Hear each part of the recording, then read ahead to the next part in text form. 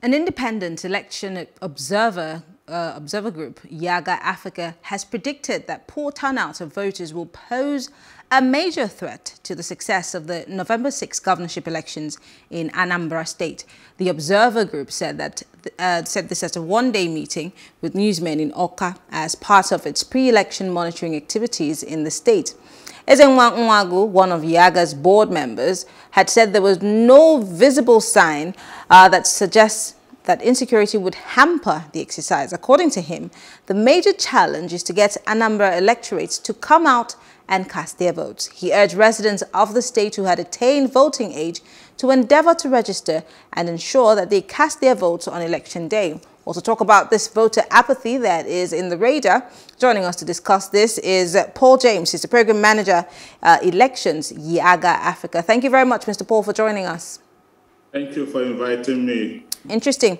Um, voter apathy is not something that's um, alien to us anymore because we saw this uh, in the uh, 2019 election, presidential elections, we saw it, um, there was a low turnout. And, and if, for those, if you follow elections, you follow the local government elections here in Lagos State, you saw almost, I mean, no turnout, uh, you know, for the local government elections.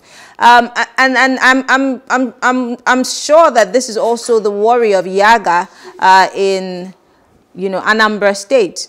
So kindly walk us through why you have, what you have noticed that has made you worry that much.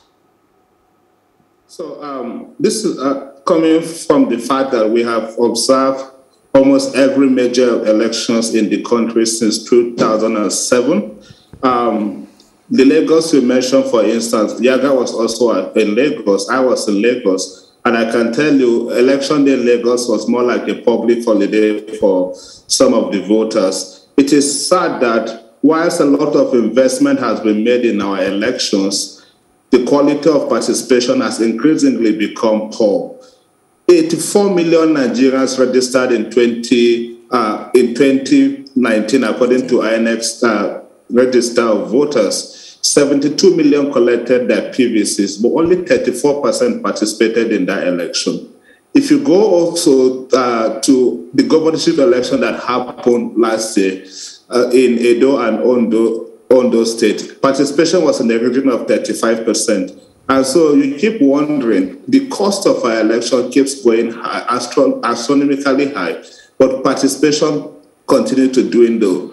We are just back from Anambra where we engage stakeholders on the need to increase citizen participation in this election, especially because of what we have observed from the last two governorship elections in the state. In 2013, for instance, voter participation in the election in Anambra was just uh, uh, in the region of 24%. In 2017, when we thought uh, that could have been a change in that, uh, sadly, it went bad but to about just 21%. Uh, only about 400 registered voters participated in that election. So um, the worry always is about the quality of participation, especially in local, in state-based or local elections. For Anambra, for instance, in the 2015 general election that happened just after the state election, that, uh, a year or so after the state election that happened in 2017, uh, in 2013, over a million voters participated in the, in the national election. But when it comes to the election that is closest to the people, the participation keeps dropping. So we are worried that uh, we cannot continue to allow a few determine the fate of uh, the state, determine who becomes the governor of the state. We saw that in 2017 in Anambra State people are complaining about the quality of governance and all of that. But I mean, they lost the moral right to complain when they did not effectively engage the process. Exactly. So, you, you, you just literally took the questions out of my mouth because I was going to say that we're very good at complaining. We're very, I mean, I, I, I have no grudges against people who rant on social media. But we would love to see that rant translate to some action, but we barely see those people show up at the polls.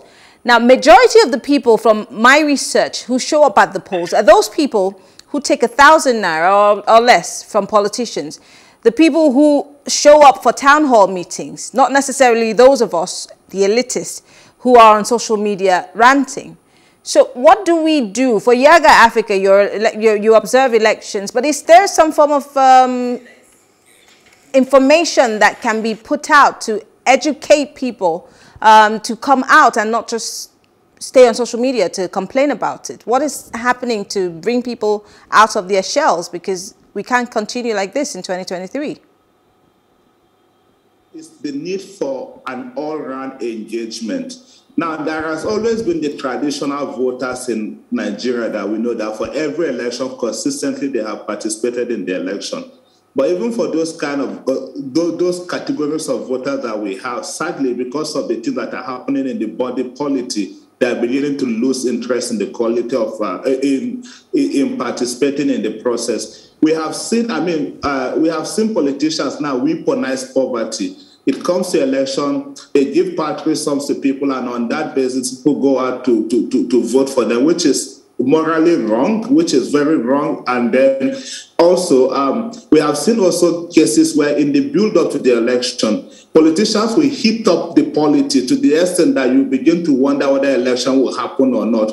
We saw that happen in Edo last year before the election. 12 of the 18 local governments uh, uh, in Edo were riddled with all sort of pre-election related violence. In Ondo as well, Ondo has 18 local government 13 of the 18 local government had also, uh, uh, they had reported cases of election-related violence. In fact, in one of the local governments in Ondo, a woman was stripped naked. So for those kind of voters that are experiencing such in the build-up to the election, that will already put fear in their mind and then uh, would also affect or impact the way they engage the process come election day. The security that are charged with the responsibility of providing lives and properties, sometimes they wait until very late in the game before they begin to come out to, to, to assuade or provide that confidence to voters. We hear them coming out to do what they call, quote unquote, uh, uh, show of force the week of the election.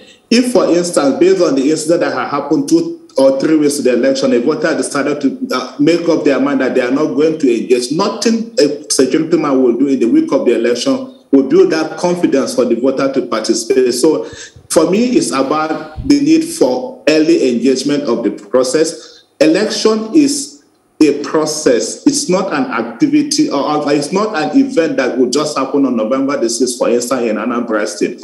We saw how also the narrative of 2017 you had uh, uh, some people saying things like uh, no referendum, no election, for instance. People buy into those sort of narrative put uh, fear in the minds of people, discourage people from participating, and the election day will come. You see, uh, the turnout will be low, and it is in location that you don't have enough voter turnout. That is where you see politicians go to manipulate manipulate the votes, and that narrative is already uh, already building up in Anambra because we saw that uh, also happening in this uh, voter registration in Anambra State. On this, uh, on July the 26th, when INEC officially started the process, part of Anambra uh, South, for instance, that was blockade.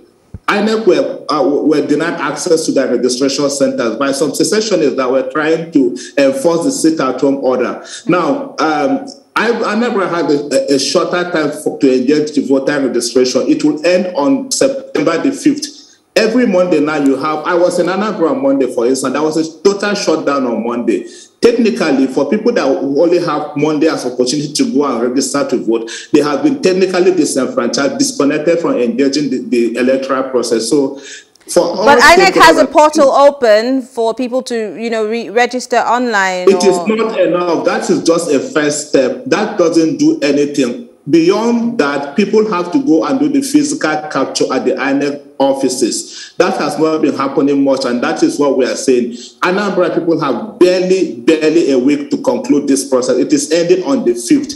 And we want to see that the numbers go up, especially in Anambra State. We want to see how that move from the protest that we see online, just like you said, to physical engagement of the process. So, like, for instance, an opportunity was lost on Monday. How do we make up for that opportunity? That, that should be the kind of conversation we should be having now. Yeah. Um, I, I'm, I'm not a naysayer, but um, I'm a bit sick of hearing that, oh, this politician said this or this group of people did this and that's why people are not coming out to vote. We have gone through this cycle for years. Haven't we learned anything as, as the, the voters, as the electorate? Haven't we learned that this is a, a tactic uh, that these politicians use just to confuse us. and, and at the end of the day, they get to benefit from it. I mean, like I said, we're not talking about the average person in a village in Anambra. We're talking about the people in the in the in the uh, urban areas. We're talking about the guys who are in the city, the people who should know better, hardly even show up to vote. So really, if those people are, are having experiencing such apathy, uh, what should the woman in the village do? Well, I, I, just hope that narrative doesn't also go to the poor woman in the village, like you said, because they are the original voters in Nigeria. For most of us that stay on social media, we don't go out to vote. Like the Lagos narrative, I was there, like I said, in Lagos. On election day, it was sad to see young people, young people that are engaged on social media. You see them on the street playing football. It is sad to also hear that that day for some people were the day they thought they should make up for the time for the lost uh, sleep that they had had. And I mean, uh, the education needs to start now. We bad leaders will continue to be elected by good people that will refuse to go out to vote.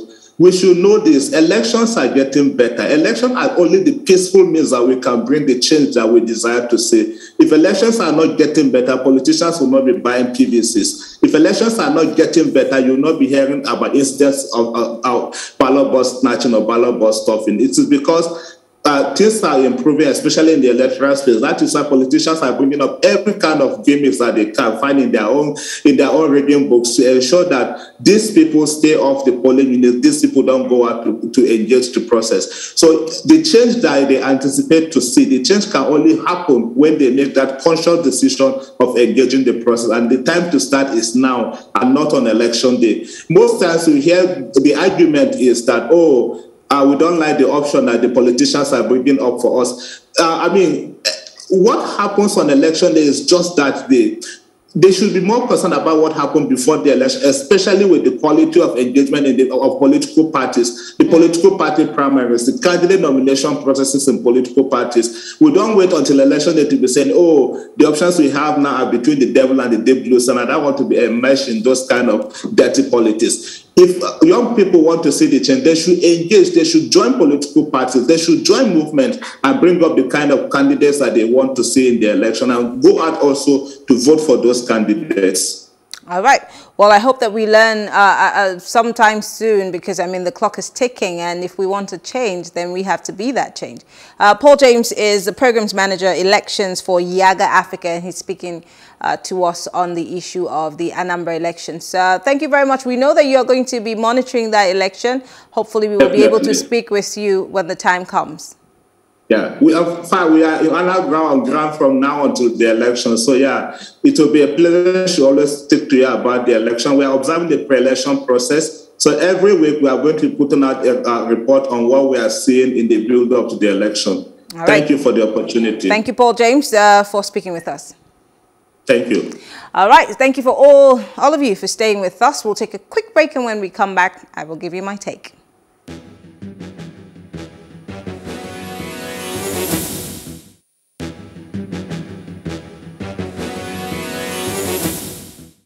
Well, here's my take. I'm almost tired of saying the same thing over and over again, but I will not relent. You cannot ask for good governance if you are not a good follower. What does it take to be a good follower? If you need to vote in elections, if you want to have free, fair and credible elections, if you want your vote to count, first things first, do you have a voter card? If you do not have it, have you taken advantage of the processes that have been put in place for you to get one. It's not enough for us to rant. Ranting is good. It's not enough for us to protest. Protests are good. But have we been allowed to protest, um, you know, recently? No, it's become a crime under this government because even the mandate that you have as a person, as a citizen in this country, the office of the citizen, uh, has been gagged one way or the other. Every time the average Nigerian is sick and tired of government playing to the gallery and decide to hit the streets, Government shows us force, brings out the army, brings out the police. Now we want to see government show us that force in dealing with the insecurity that we're facing. Where is it? Every day, people are being kidnapped, people are being killed. A whole NDA was taken over by bandits. It is a shame, it is an embarrassment, not just on the people of Nigeria, but also on the people that call themselves our leaders. We are heading for a dangerous place. And if our president, if our governors, our senators, our House of Rep members do not sit up and face this issue, we might be doomed, unfortunately. But let us not lose hope. If you do not have a voter's card, please go and get it. Stop complaining and start acting. I am Mary Anacone, thanking you for watching.